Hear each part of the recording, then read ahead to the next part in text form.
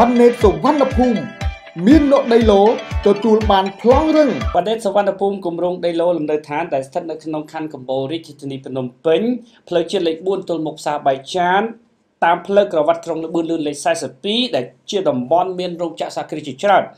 ហើយមានប្រព័ន្ធទឹកភ្លើងប្រព័ន្ធលូគ្រប់គ្រាន់តែម្ដងអតិថិជនដែលជាវ